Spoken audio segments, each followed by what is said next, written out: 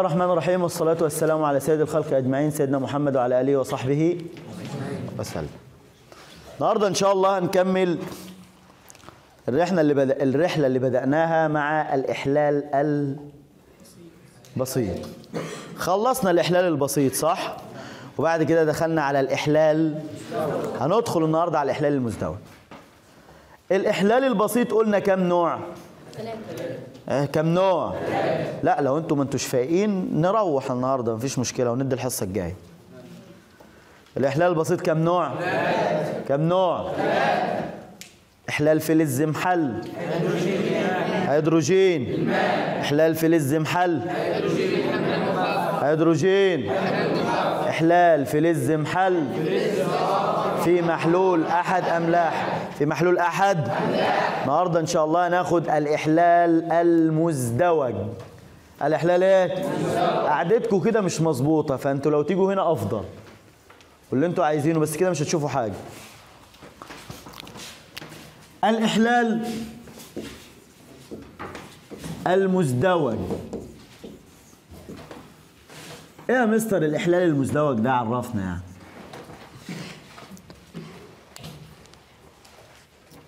من تعريفه كده هتفهم ولو ما فهمتش من التعريف هتفهم بمثال ولو ما فهمتش بمثال هتفهم بالبلدي خالص. يعني كده كده لازم حلو. تفاعلات كيميائية ونسيت التاء هكتبها لك هنا. تفاعلات يا شباب. ما هي كلها تفاعلات كيميائية صح؟ ماشي. يتم فيها عملية تبادل مزدوج. هي عملية كيميائية يتم فيها عملية تبادل مزدوج. تبادل ماشي. بين شقي أو أيوني مركبين لتكوين مركبين جديدين. صحصحني كده معاك وقول لي التعريف الإحلال المزدوج هو.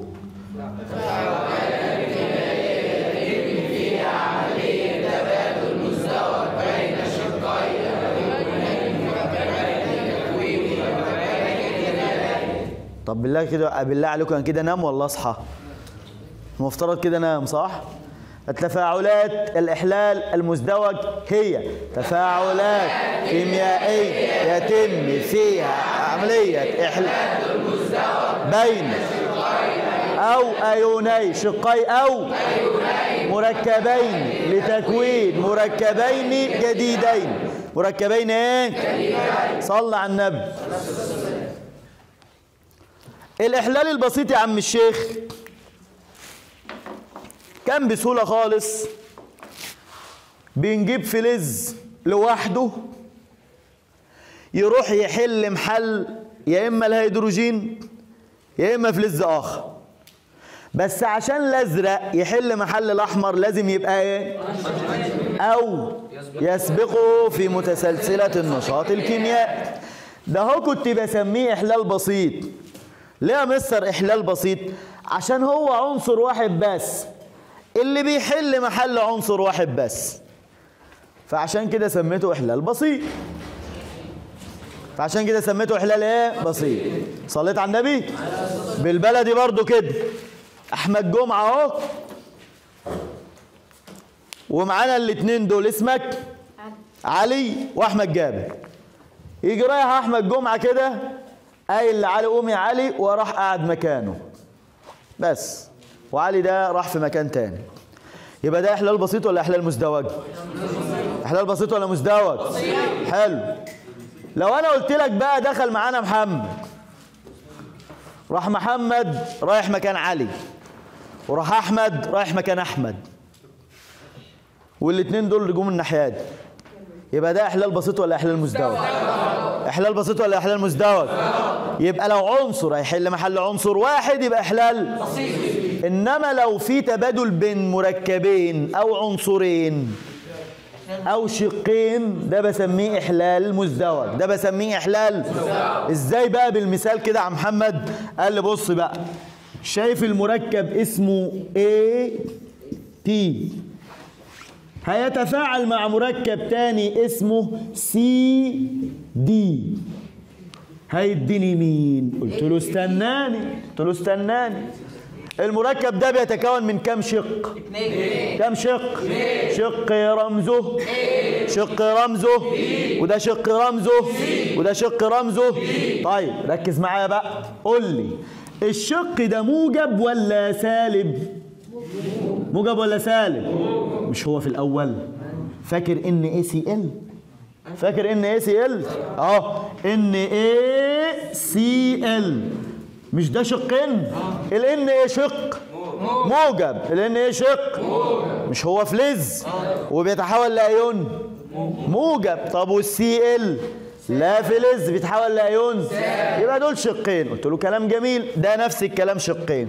شق موجب وشق سالب وده برضو شق موجب وشق سالب يلا يا باشا اعمل لي إحلال مزدوج.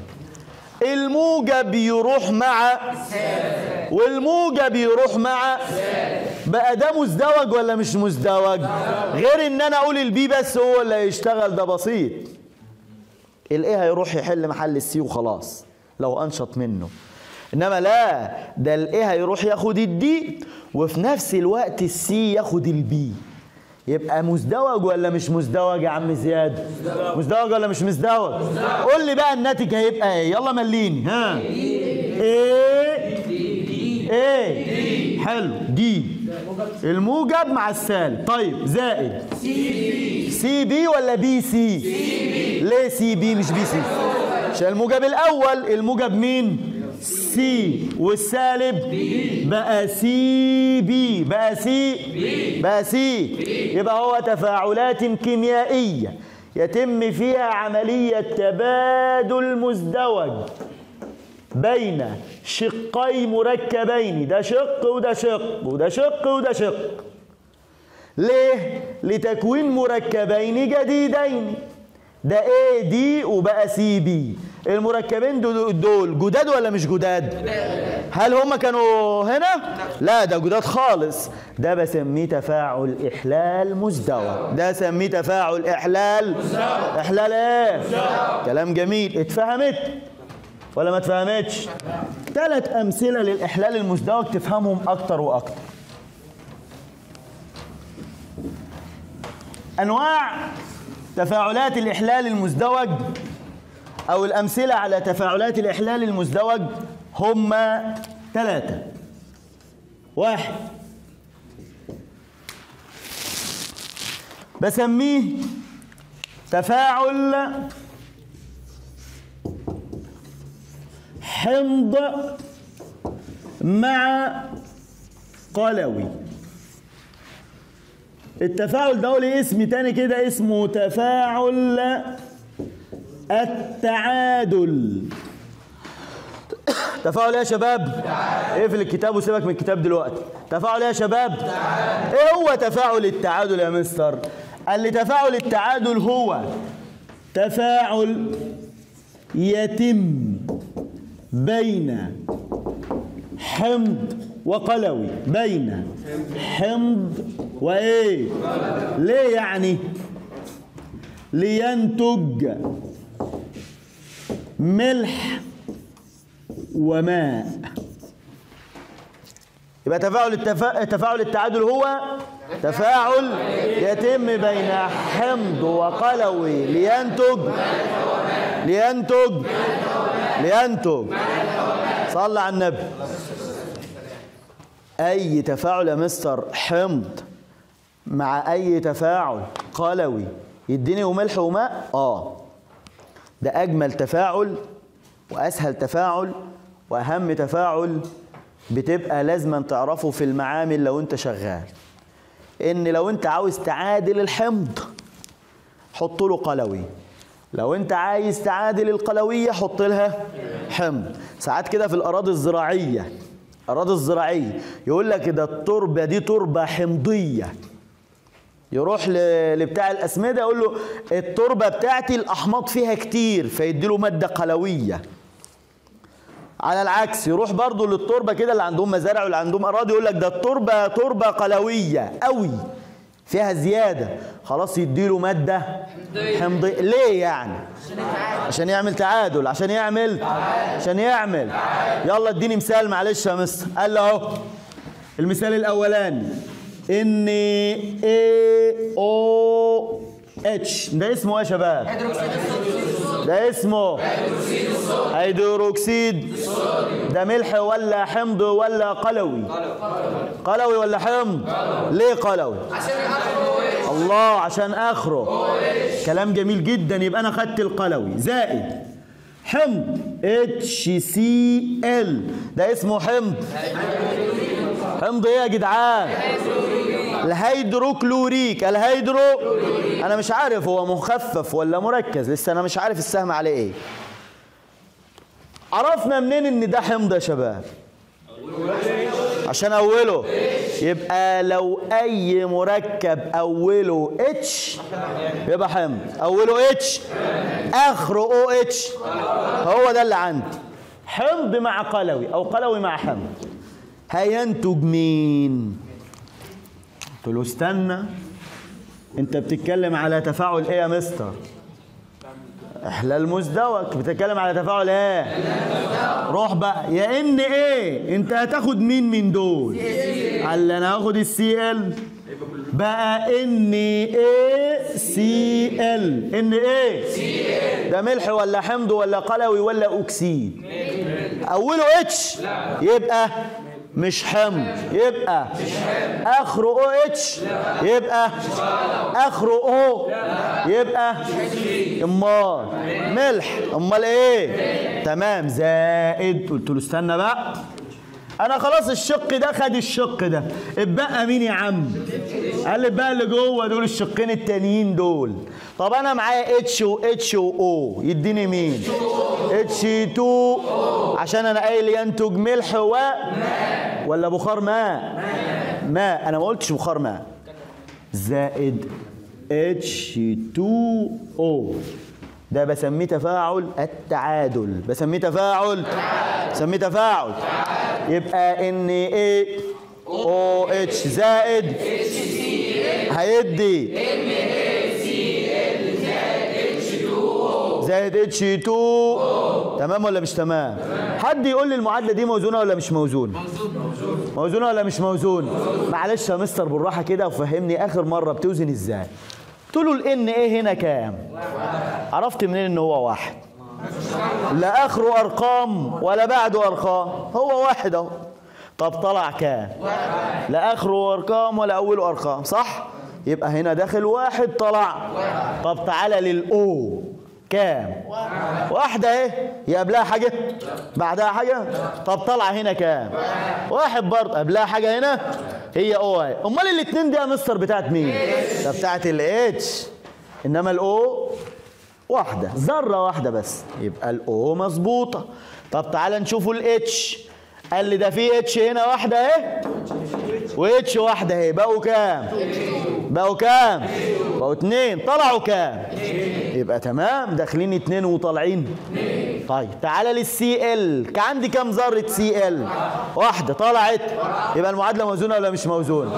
آخر مرة ده اسمه تفاعل التعادل. تفاعل. ما هو تفاعل التعادل؟ هو تفاعل يتم بين حمض وقلوي لينتج. تمام. تمام؟ إحنا في البداية كده عايز أقول لك إن إحنا في المعامل وإحنا داخلين كده في الكلية مثلا أول تفاعل بيعرفوه لنا هو التفاعل ده. مهم جدا. ليه يعني يا مستر؟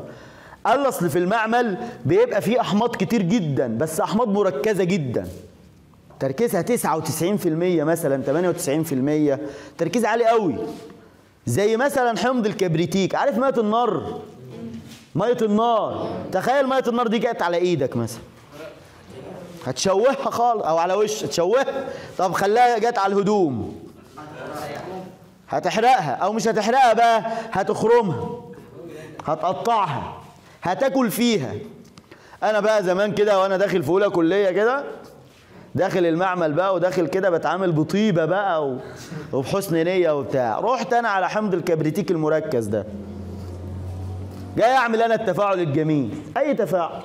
في حمض الكبريتيك المركز. رحت رايح جايب حمض الكبريتيك المركز وجايب الأنبوبة بتاعتي وبفضي كده. وقع على إيدك طبعا إحنا كنا أصلا نروح نتعامل مع الأحماض دي. الأحماض دي يعني تركيزها منه عالي. كنا بنروح نعمل كده قدام الحمض. يا نهار أبيض هروح أتعامل مع الحتش. وكنا المركزات دي اللي هي تركيزها عالي دي حاطينها في جنب لوحدها كده. عايز يقول لك إن دي الأماكن الخطرة خد بالك. خليها على جنب كده. فإحنا رايحين بقى يا نهار أبيض. هنتفاعل مع هنشتغل بالأحماض المركزة. فقدر الله وما شاء فعل اشتغلت بيه. وأنا بشتغل بيه وقعت نقطتين ثلاثة كنت لابس بالطو بقى وبتاع. على البلطو هتعملت إيه في البلطو خرمت البلطو مش مشكله كنت لابس تحتيه قميص. خرمت القميص. والله حصل. يا عم مش مشكلة. الفانيلا اللي تحت القميص يا عم مش مشكلة لو هتيجي على القماش. عادي. إنما الجلد بقى الحمد لله يعني. لقيته احمر حاجة بسيطة بس. قلت بس. كده تمام قوي فكانوا بيعرفونا التفاعلات دي ليه؟ خلي بالك بقى. عشان كان يقول لنا كده الدكتور وإحنا في المعمل يقول لك إيه؟ لو في حمض لو في حمض بغصب عنك جه على إيدك الحق حط عليه جدع ده. الحق على طول روح حط عليه هيدروكسيد صوديوم أو كربونات صود أو حاجة مادة قلوية. احطها عليه على طول بالذات الكربونات أو البيكربونات. ليه؟ قال لي عشان خاطر تعمل عملية إيه؟ تعادل. الحمض ده أول ما يشم المادة القلوية دي أو كربونات أو بيكربونات مثلا لو هي أملاح يسيب الجلد كده ويأثر عليه تأثير بسيط بس يتفاعل مع المادة القلوية على طول. يبقى أنت كده حافظت نوعا ما على جلدك. يبقى ده تفاعل مهم ولا مش مهم؟ ده النوع الأول من أنواع التفاعلات الإحلال المزدوج. اتنين بعد ما تصلي على النبي. اتنين تفاعل حمض برضه بس مخفف مع ملح. مستر هو ليه في التفاعل ده ما ينفعش أقول تفاعل حمض مع عادي جدا. ممكن أقول تفاعل قلوي مع حمض أو ملح مع حمض مخفف. واحد زائد واحد هي هي واحد زائد و... أو واحد زائد اتنين هي هي اتنين زائد. بس. أنا الأسود بص بقى هيتفاعل مع الأحمر. ممكن أقول الأحمر يتفاعل مع الأسود؟ عادي جدا. ما هو كده كده الاتنين هيخشوا جوه الخلاط. هما الاتنين هيتفاعلوا مع بعض. هل هيقول لك بقى استنى يا عم ما أشوف مين اللي داخل الأول وأتفاعل معاه؟ لا هما الاتنين هيتفاعلوا مع بعض خلاص. وصلت؟ بس لما تيجي تكتب المعادله دي تكتب القلوي الأول وبعدها الحمض. لازم يا مستر آه. المعادلات ليها طريقة الكتابة لازم صح طالما أنا كتبت لك المادة القلوية الأول وبعدين الحمض ده طريقة كتابة المعادلة الصحيحة. لو أنت هتفاعل مادة قلوي مع حمض الحمض اللي يبقى في النص. عشان كده أنت كل المعادلات اللي تقابلها فيها أحماض بتلاقيها دايما في النص. اتش سي ال ده دايما في النص. صليت على النبي؟ تمام. النوع الثاني تفاعل حمض مخفف مع ملح. هكتب مين الأول يا شباب؟ مين الأول. ما أنا لسه قايل لك الثاني بيبقى الحمض. يبقى أكتب الملح الأول. معاك مين الملح؟ قال لي خد المعادلة دي الأول. أول في في العمل كده هنشتغلها إزاي؟ قال لي هنجيب ده أهو. اسمه دورق مخروطي. من معلش. اسمه إيه؟ دورق اهدى بقى؟ مخروطي. تاخده في أولى سنه وإن شاء الله عندك درس كامل كده بيقول لك أدوات القياس في المعمل. الأنبوبة بقى والمدرج والدورق المخروطي والمستدير وحاجات كتير كده. ده اسمه دورق مخروطي. هحط جواه اتش سي ال يبقى مين الحمض اللي هيبقى معايا؟ مركز ولا مخفف؟ مركز ولا مخفف؟ ما تصحى يا جدعان مركز ولا مخفف؟ ما أنا قايل هنا حمض إيه؟ وده ما يتخافش منه. ده محطوط عليه مية يعني مخفف. شفت لما تروح تشتري الكلور؟ يقول لك هات كلور خام. كلور إيه؟ خام. الكلور الخام ده هو بيبقى مركز تركيزه عالي. تروح تغسل بيه على طول؟ لا. يقول لك إيه؟ لازم نخففه الأول وبعدين نشتغل بيه. نخففه يعني هنعمل إيه يا محمد؟ هنضيف عليه مية. يبقى الحمض هنا مخفف. صلينا على النبي؟ ماشي يا عم. هنجيب بالونة. البالونة دي هنحط فيها مين؟ ملح. مش أنا خدت الحمض؟ اتبقى مين؟ الملح. هنحط فيها مين؟ ملح. الملح اللي معايا ده أهو. Na 2 CO 3 هو الأول ده ملح ولا حمض ولا قلوي ولا اكسيد ها؟ أوله H يبقى يبقى آخره أو اتش يبقى آخره أو آخره أو يا مستر. لا ده ده آخره إيه سي أو 3 ده آخره سي أو 3 يبقى لا أوله اتش ولا آخره أو اتش ولا آخره أو يبقى ملح. يبقى حد يقول لي محمد ده ملح يسمى ملح إيه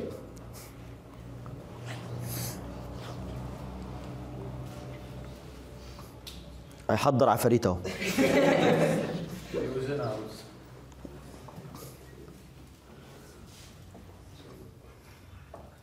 محمد جمال محمد جمعة. قول. يبقى كربونات الصوديوم. جدع كربونات الصوديوم. يا عم أنا مديك ورقة. الورقة دي فيها ال CO 3 اسمه إيه يا شباب؟ والورقة برضو فيها Na اسمه إيه؟ يبقى كربونات الصوديوم. يبقى كربونات لو هنا كبريتات يبقى كبريتات. لو هنا OH يبقى هيدروكسيد. يا عم لو هنا عفريت يبقى عفريت. عايزه حاجة دي.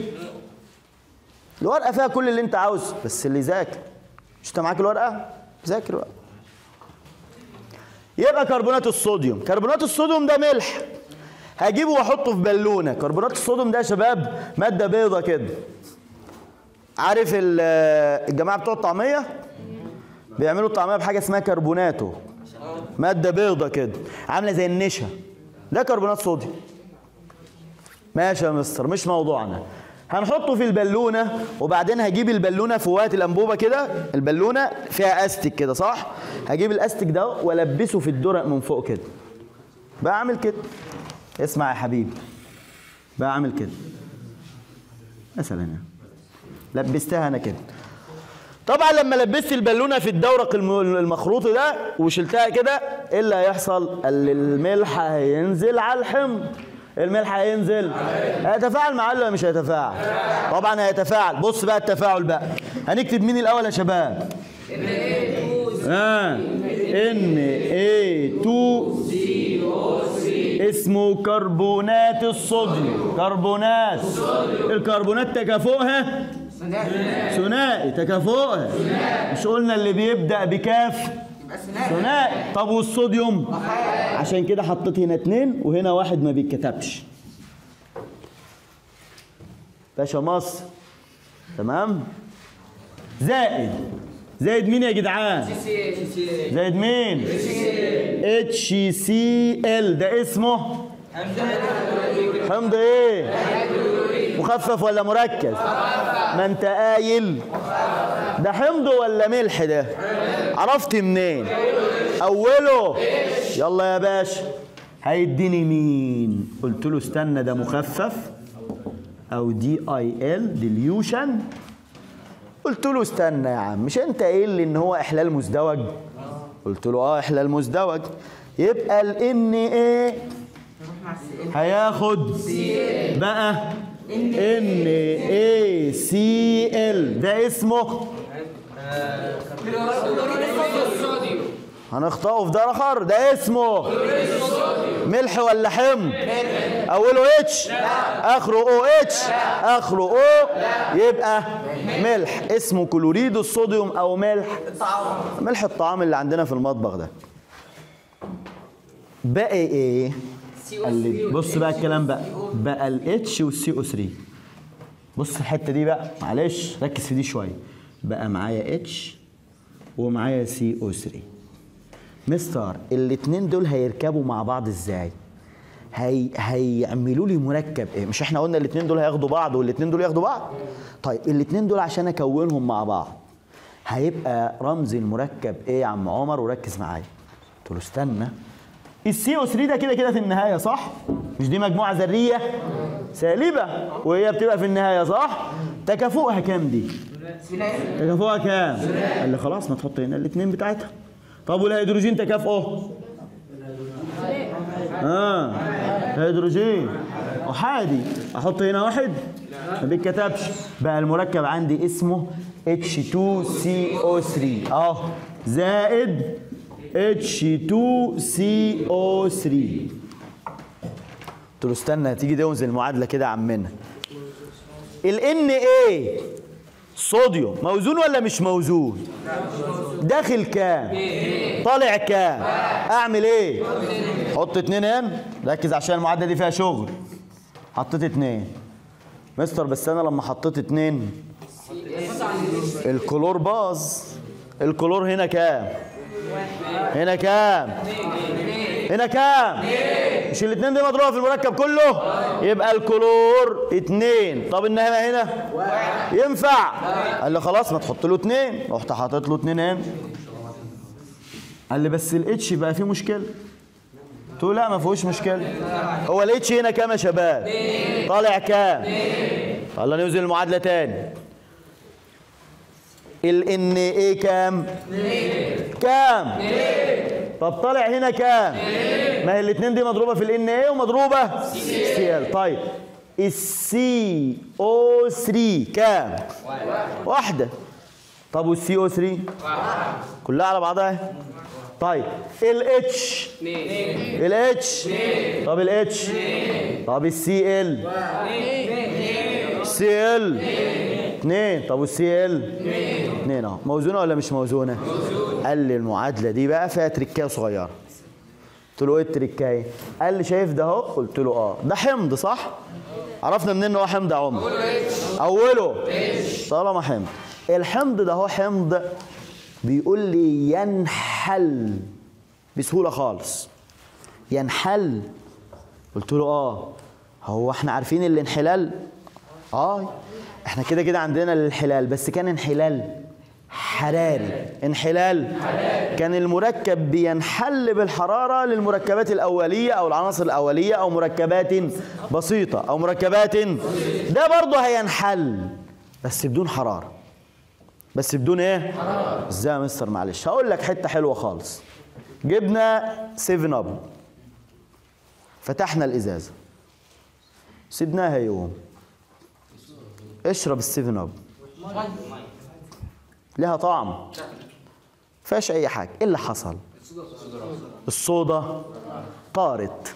بالبلدي كده كنا بنقول الصودا إيه؟ طارت. إيه اللي خلى الصودا تطير؟ اصل الصودا دي من المركبات اللي بتنحل بسهولة بتطير بسهولة. فعشان تحافظ عليها لازم تقفل عليها. لازم.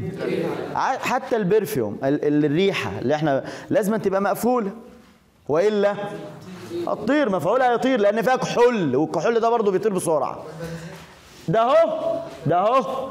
برضه من المركبات ده اسمه حمض الكربونيك. من الأحماض اللي بتنحل يا أحمد أمير بسهولة خالص. طبعا لما تنحل يعني هتتفكك صح؟ تتفكك لإيه؟ قال لي هتتفكك للاثنين دول. بص بقى الكلام معايا. H2O مية زائد CO2 اللي هو ثاني أكسيد الايه الكربون ثاني أكسيد الايه طبعا وأحمد بيقول إيه؟ تتصاعد. يتصاعد غاز ثاني أكسيد الكربون يبقى حمض الكربونيك ينحل إلى ماء وثاني أكسيد الكربون ماء.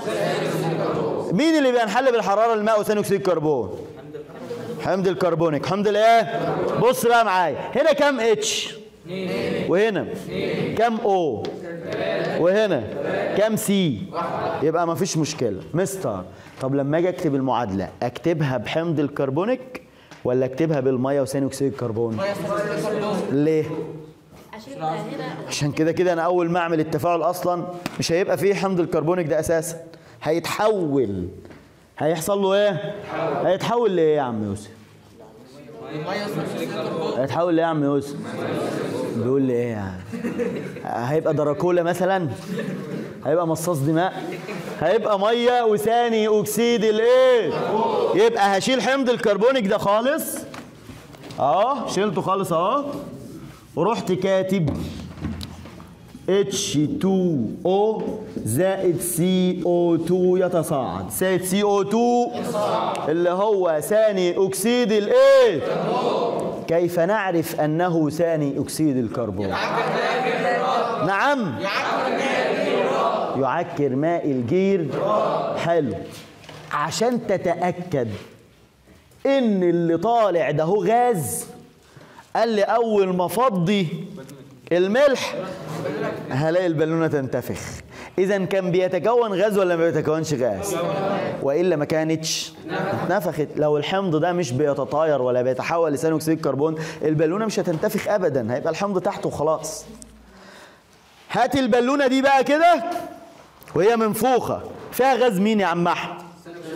ثاني اكسيد الايه مرروا على ماء الجير الرائق. المية دي رايقة خالص زي المية اللي إحنا بنشربها كده وأحسن كمان.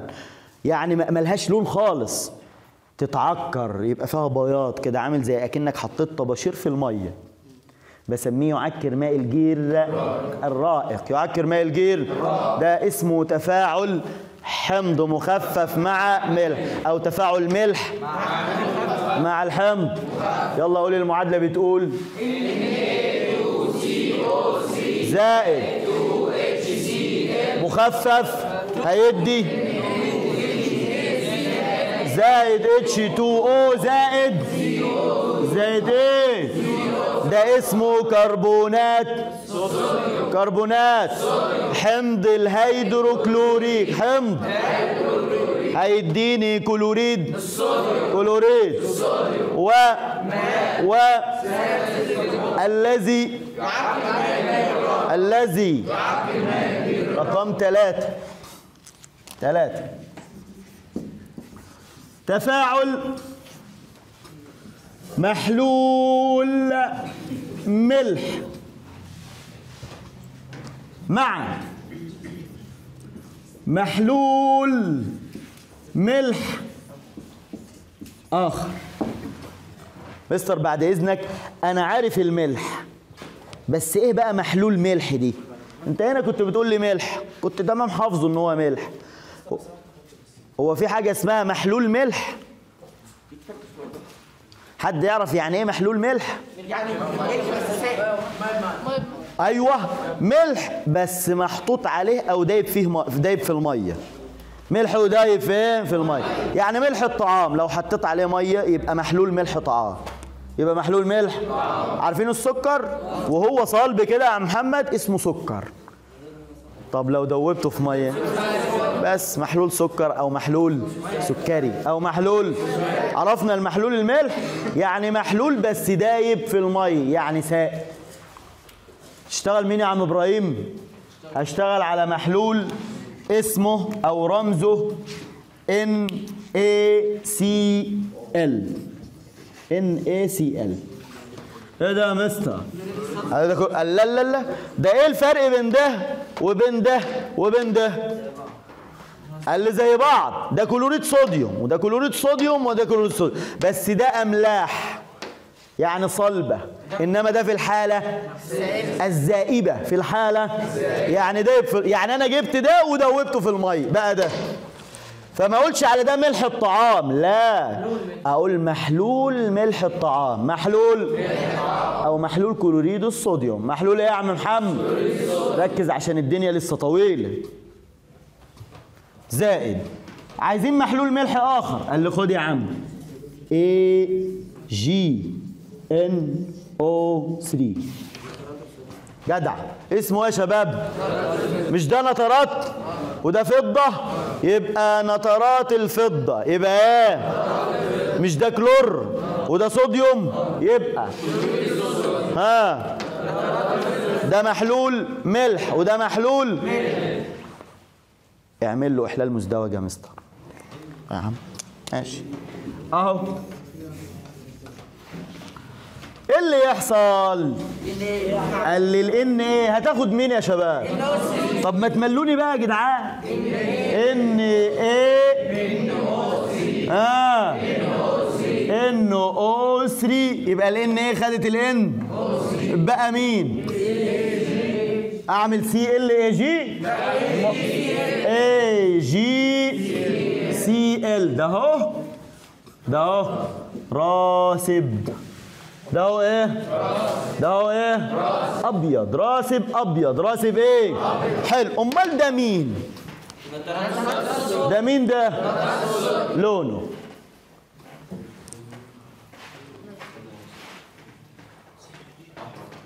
أحمر. أقول لك كلمة ما تزعلش. طب أقول له إيه طيب؟ بقول لي أحمر. نعم يا عسل؟ والنبي. ماشي. أنا هخليه يخليك كمبيوتر. ماشي. ده أنا هخليه يخليك processor. بتاع الكمبيوتر لونه يا عم زياد ده أهو. أبيض. ده لونه إيه؟ أبيض. ده نترات ال- نترات الصوديوم كان لونه أبيض وكان بينحل بالحرارة إلى إيه؟ نيتريت الصوديوم. لونه. وكان يتصاعد غاز. الاكسجين شوف الناس المذاكرة يقول لك كمبيوتر. ده أنا هخليك كمبيوتر بس اصبر. هخليك lap. ده لونه أبيض طبعا وده راسب. بيترسب كده تحت. يلا قول لي المعادلة. المعادلة بتقول تفاعل محلول ملح مع محلول ملح. يلا قول لي NaCl زائد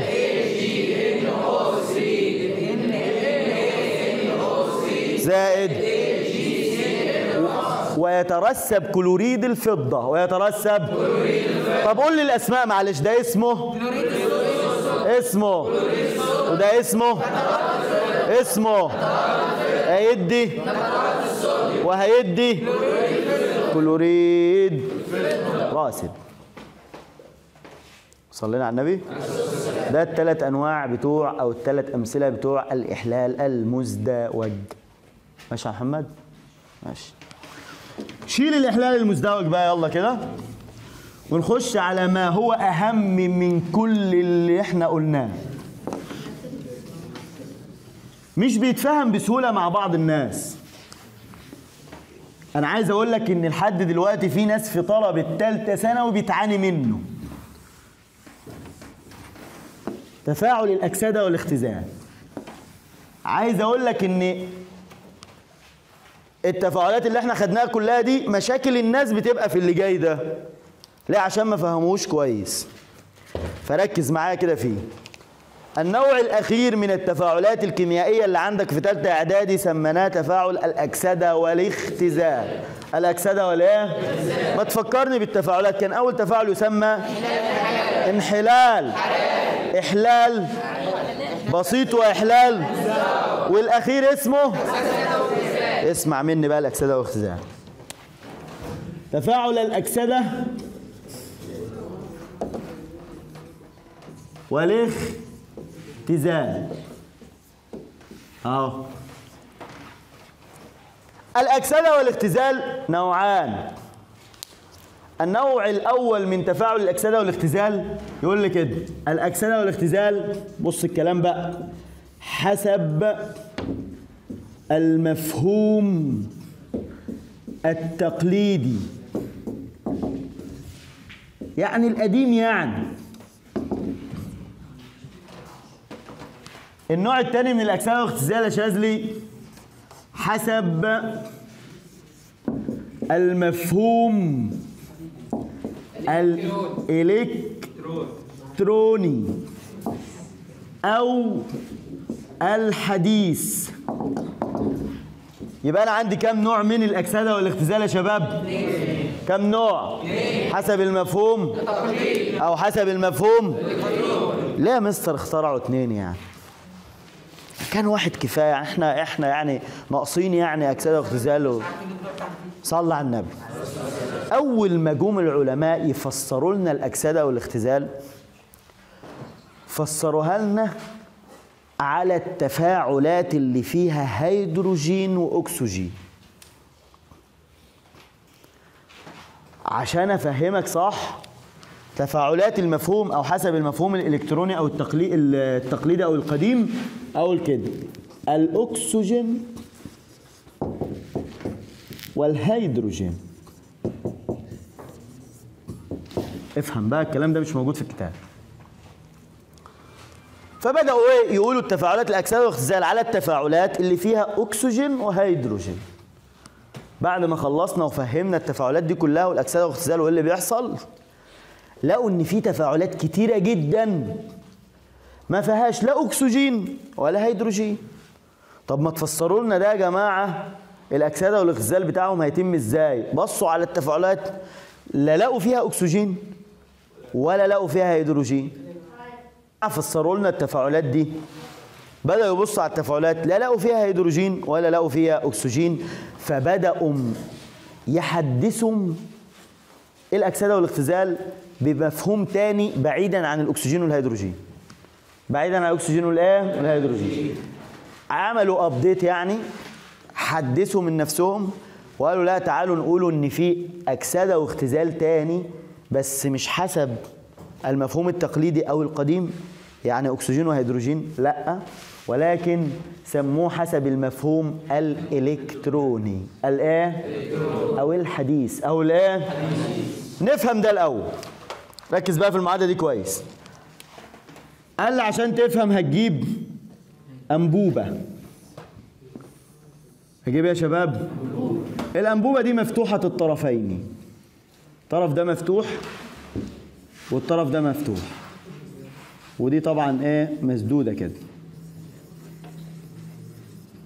وده مفتوح كده.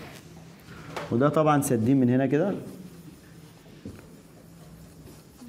وده مفتوح كده. صلينا على النبي. وفي من جوه كده حاجة زي الإناء. ده اللي بيحطوا فيها المادة اللي هنشتغل عليها. يعني أنت لو هتشتغل على الصوديوم هتحط له الصوديوم هنا لو هتشتغل على المغنيسيوم هتحط له المغنيسيوم هنا وهكذا. هنشتغل على مين يا عم محمد؟ قال لي هشتغل على مادة لونها سوداء. ألا وهي. مين اللي مادة لونها سوداء؟ أكسيد الايه في ناس مركزة جامد وفي ناس في التراب. اصحى معايا. مين اللي لونها أسود يا عم سيد؟ أكسيد الايه رمزه. رمزه. سي يو أو. رمزه. تمام. ماشي. يبقى أنا عندي سي يو أو أهو. هنجيب لهب. بنزين أهو. بيعمل إيه لهب بنزين ده؟ بنسخن في المادة بتاعتنا. صلي على النبي بقى وهد هندخل من هنا كده عنصر رمزه H2 عنصر رمزه إيه؟ H2 حلو. داخل الهيدروجين وده بيتسخن. وبدأت اتنيني كده على التفاعل أبص عليه كده لقيت المادة السوداء دي قلب لونها بقت حمراء. إيه اللي حصل؟ بدل ما كانت أسود اللي هي رمزها سي يو أو بقى لونها أحمر. مين الأحمر؟ النحاس النحاس معنى ذلك إن السي يو أو مين اللي خرج منه؟ واتبقى مين؟ اتبقى السي يو خرج منه مين؟ الأكسجين صح ولا إيه؟ بص بقى للمعادلة بقى بعد ما تصلي على النبي كده. المعادلة بتقول اهي H2 الهيدروجين داخل هنا كده.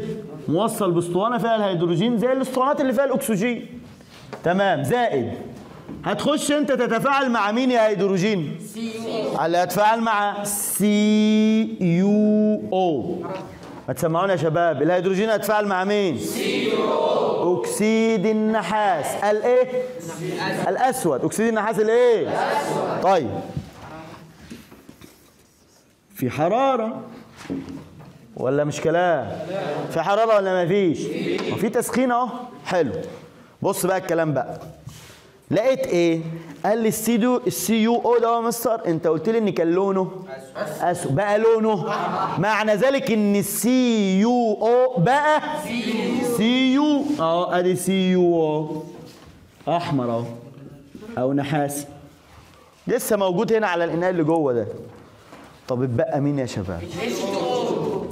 اتبقى H 2 هتاخد الأكسجين. هتاخد بقت H 2 O ده بخار ماء ولا ماء؟ قال لي لا ده بخار ماء. عرفت منين يا مستر إن هو بخار ماء؟ قال لي أصل أنا لقيت الفتحه دي بتطلع بخار. الفتحه دي بتطلع إيه؟ شايف كده؟ وأختك أو والدتك بت- بتسلق اللحمة أو الفراخ اللي ما بقتش موجودة اللي دي؟ وهي طالعة تفتح كده الغطا اللي ما بقناش نشوفه ده خالص. نلاقوا إيه؟ نلاقوا بخار. نلاقوا إيه؟ نلاقوا البخار. البخار ده بقى طالع من ال طالع من الخير ياما الحمد لله. طالع يا طالع من هنا كده البخار. ما هو لو مية يا عم محمد كان هيبقى هنا مش هيطلع بره؟ كون إن هو يطلع لي بره يا عم مصطفى؟ يبقى مية ولا بخار؟ يبقى بخار ماء يبقى بخار. اذا الهيدروجين اتحول. وأكسيد النحاس اتحول. بص بقى الكلام ده. الهيدروجين يا مستر بقى بخار ماء وأكسيد النحاس بقى نحاس. قلت له كلام جميل. ماشي. قال لي شايف العملية دي؟ قلت له آه.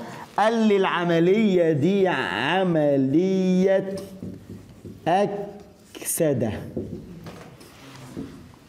والعملية اللي تحت دي سميتها عملية ما تقول لي اختزال. قلت ليه عملية أكسدة وعكسها عملية اختزال؟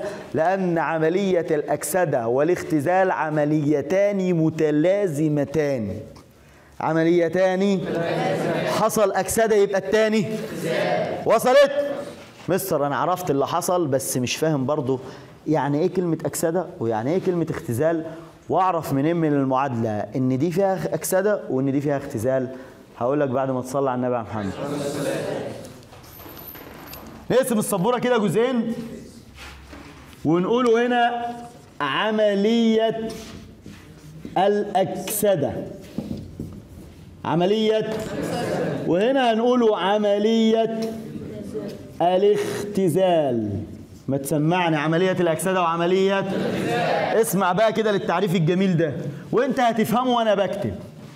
عملية يتم فيها زيادة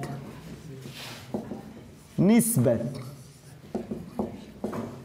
الأكسجين أو نقص نسبة الهيدروجين. هي عملية يتم فيها زيادة نسبة أو نقص نسبة الثانية عكسها.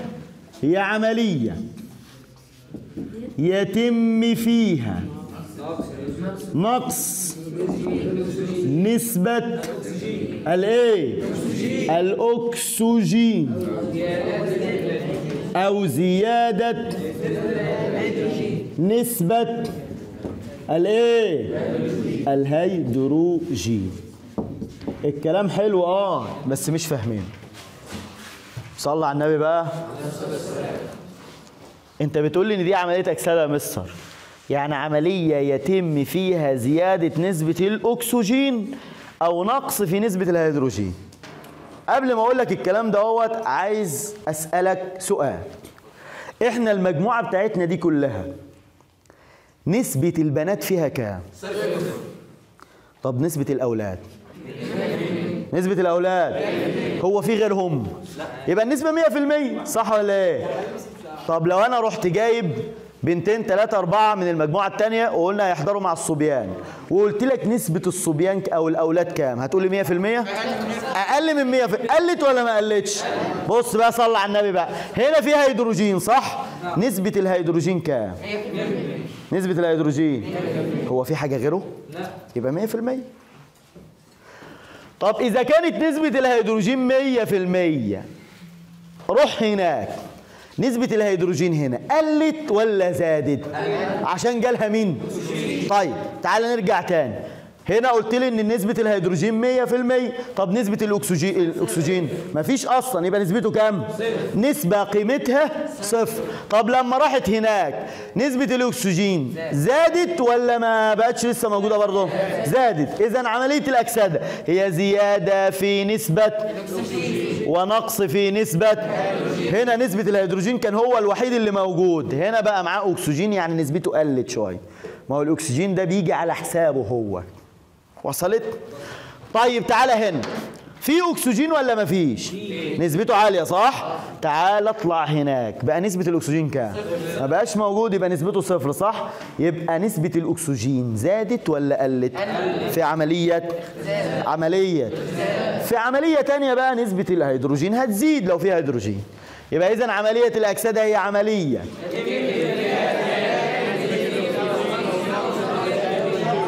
الله. ده صوت.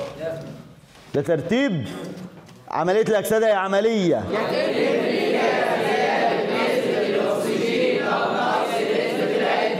أو نقص في نسبة. الاختزال هي عملية.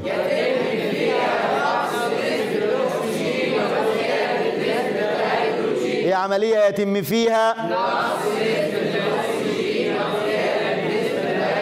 لسه في ناس بتعمل ادينا بنقوله مع اللي بيقوله خلاص يا مستر. يلا يا جدعان آخر مرة. عملية الاكسده هي عملية.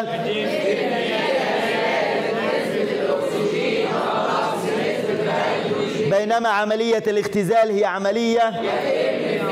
نقص نسبة الأكسجين وزيادة. أو زيادة مش وزيادة. يعني هنا في أكسجين في تفاعل تاني يبقى هشتغل على هيدروجين. صلينا على النبي. بص بقى الكلام. قال لي مش انت قلت لي ان دي عملية اكسده يا مستر؟ قلت له آه. قال لي شايف الهيدروجين ده أهو؟ قلت له ماله؟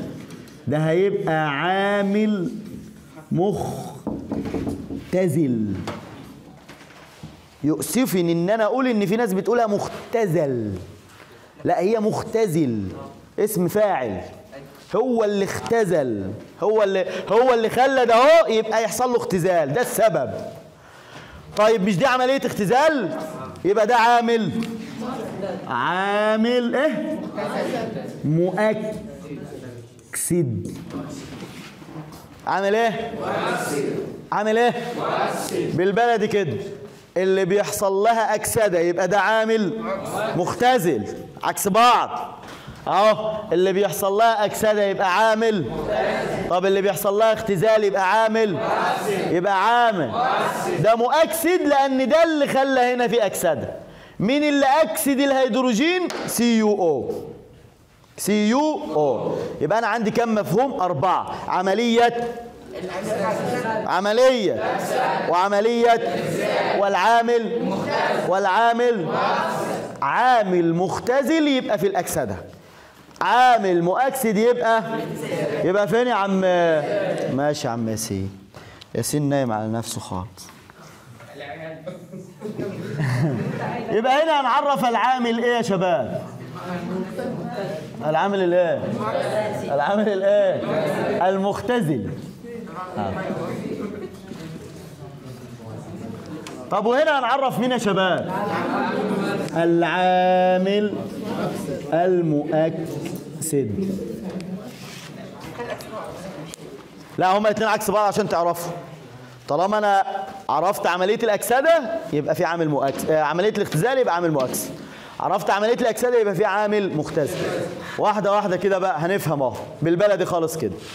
الهيدروجين ده أهو طلع بقى معاه أكسجين. فأنا رحت قلت له يا هيدروجين أنت جبت الأكسجين منين؟ قال لي أنا رحت خدته من أكسيد النحاس. رحت خدته منين؟ خدته منين؟ يبقى عملي آه عامل مختزل اهو. بص بقى تعريفه هو العامل أو المادة التي تنتزع. أنا عايز أكسجين. رحت خدت الأكسجين. انتزعه يعني خده. يبقى هي المادة التي تنتزع. تنتزع مين؟ الأكسجين من مادة أخرى أثناء التفاعل الكيميائي. هي المادة التي تنتزع. مش الهيدروجين ده عامل مختزل؟ هيروح إيه؟ ينتزع الأكسجين من مادة أخرى. من إيه؟ طب العامل المؤكسد. هو وهو رايح ياخد الأكسجين قال ده هو أكسجين نحاس قال له أنت هتتخانق معايا ليه؟ اتفضل يا حبيب قلبي. مش أنت عايز أكسجين؟ يا عم خد أهو أنا مش عايزه أصلا. يبقى العامل المؤكسد ده هي المادة التي تمنح الأكسجين لمادة أخرى. يبقى في مادة بتنتزع وفي مادة بتمنح. في مادة بتنتزع وفي مادة إيه؟ بتمنح. هتعرفوا لي بقى العامل المؤكسد ولا النامم يلا هي المادة التي تمنح. التي إيه؟ تمنح مين؟ الأكسجين لمادة أخرى. أثناء التفاعل. الكيميائي أثناء التفاعل. يبقى أنا عندي في مادة بتنتزع وفي مادة المادة اللي بتنتزع سميتها عامل. عامل. المادة اللي بتمنح يبقى عامل. أربع تعريفات على السريع. العملية الأكسدة هي عملية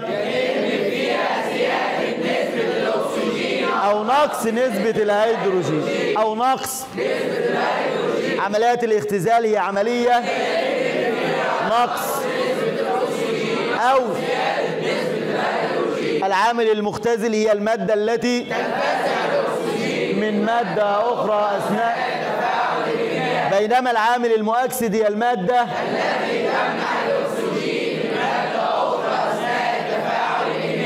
صعب الكلام؟ كله هنا شغال على أكسجين وهيدروجين. أكسجين وإيه؟ ماشي يا عم سيد ماشي ماشي معانا يا عم علي ولا إيه؟ معالي أخوك جاب لك العشاء؟ علي تعالي. صلى على النبي بقى. ماشي عرفنا ده يا مستر خلاص.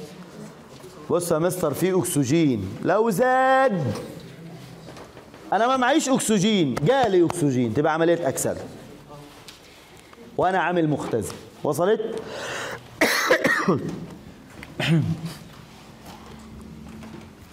حسب المفهوم الإلكتروني هنا بنتكلم على أكسجين وهيدروجين.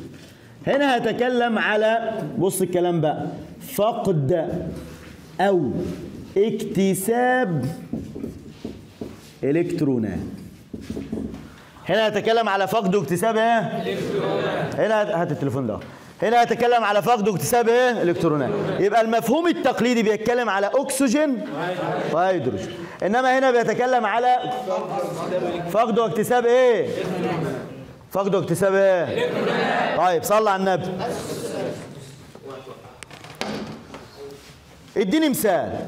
قلت لك المثال ان إيه ده صوديوم زائد Cl 2 ليه Cl 2 يا مستر؟ عشان ده في الطبيعة ثنائي الذره زي الهيدروجين والأكسجين والنيتروجين والفلور والبروم واليود وكلور هم سبعة. السبعه دول لازم يبقوا ثنائية الذرة في الطبيعة. هيدروجين H 2 أكسجين O 2 نيتروجين بروم Br 2 يود. كلور. فلور. دول لو جم مع بعض كده لوحدهم زي ده كده لوحده يبقى Cl 2 على طول. ثنائي الذرة. ماشي. إيه اللي هيتم في المعادلة دي بقى؟ محمد عبد الرحمن. بص معايا يا حبيبي قال لي الإن إيه أهو؟ الإن إيه ده؟ عدد ذري كام يا شباب؟ 11 عدد ذري كام؟ تيجي نوزع. 2 8 1 2 8 طيب حلو. طب وزع لي الكلور. ذرة الكلور واحدة يعني. عددها الذري كام يا شباب؟ ما توزع. 2 تمانية سبعة اتنين تمانية. ده آخره كام الصوديوم وآخره كام الكلور؟ حلو. ده عايز يستقر. فهيفقد ولا هيكتسب؟ هيفقد واحد. الواحد اللي هيفقده ده هيروح فين؟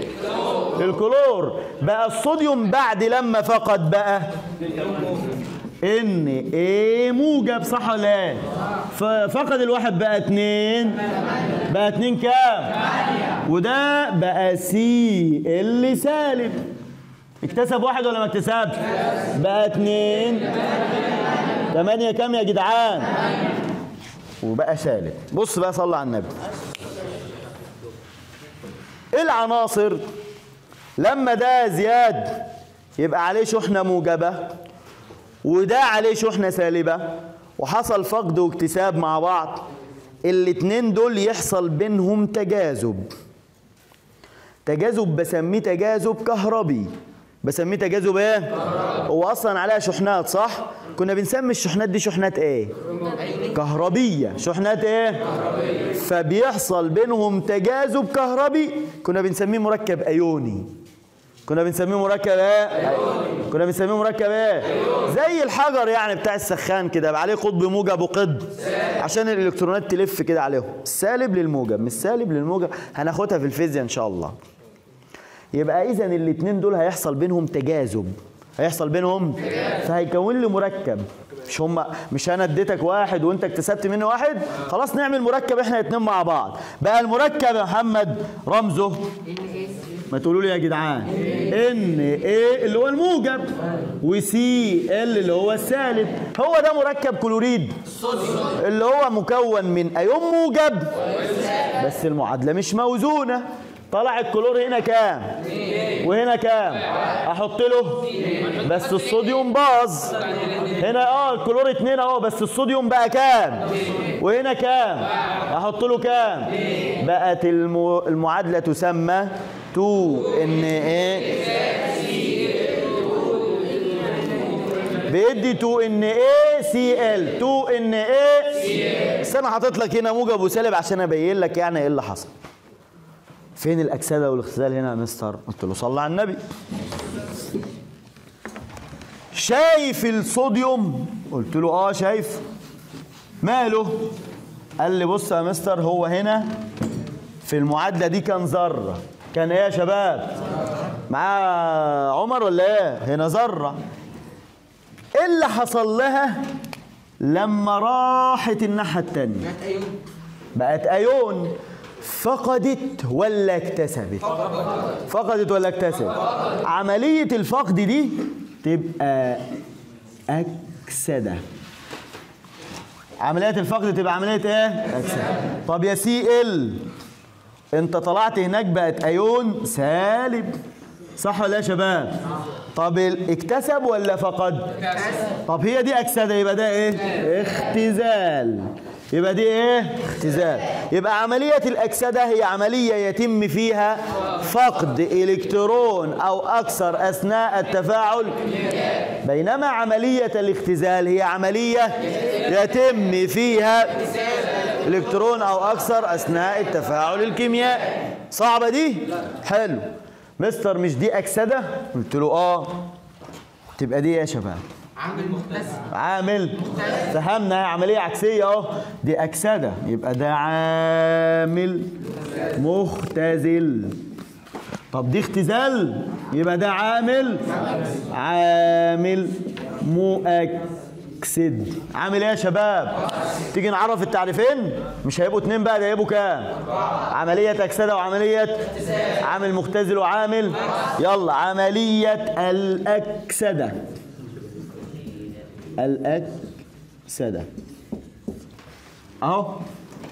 وهنا برضو عملية الاختزال. أنت اللي هتقول بقى. يلا يا باشا. عملية الأكسدة هي.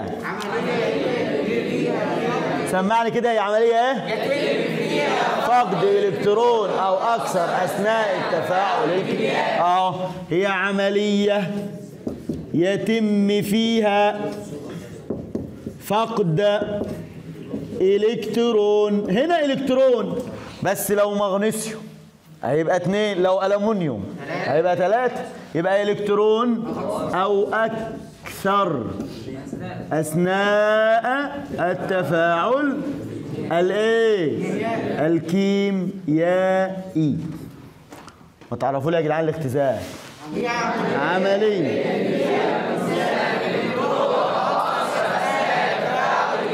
كلام جميل هي عملية يتم فيها. اكتساب. الكترون أو أكثر أثناء التفاعل. الكيميائي عملية الأكسدة يا عم زياد اللي بتفرك. عملية الأكسدة. هيبقى فيها عامل إيه يا سيرسي؟ آه. عامل مختزل. آه. العامل آه الناس بتتفاجئ لما أسألها. يا نهار بتتفاجئ. يا عم أنا كنت نايم أنت دخلت مرة واحدة كده قلت اسمي وبت... ما تصحوا كده يا شباب. العامل المختزل بص بقى أسهل مفيش أسهل من كده. آه العامل المؤكسد أنا كاتب كده صح ولا غلط؟ صح. عملية الاختزال فيها عامل وعملية الأكسدة فيها عامل مختزل عمليه العامل المختزل بص للكلام بقى. المادة التي تفقد. تمنح. إيه؟ إلكترون أو أكثر استفاعل كيميائي عادي جدا ده تمنح إلكترون. ده تكتسب. إلكترون. عادي جدا إيه المشكلة؟ بس هي كده كده أهو. الاثنين صح طبعا. ده هو الصوديوم صح؟ هو فقد إلكترون. يبقى هي المادة التي تفقد. طب عملية الاكسده هي العملية التي يتم فيها فقد يلا قول لي هي المادة التي تفقد؟ هي المادة التي تفقد؟ طب العامل المؤكسد هي المادة التي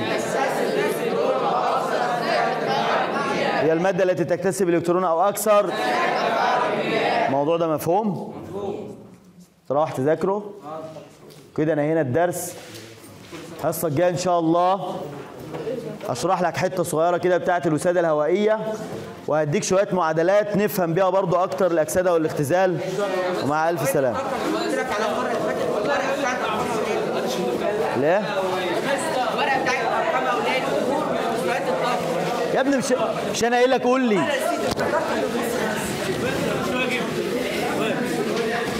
لا مفيش وقت ذاكروا اسال في الحصة الجاية على كل المعادلات.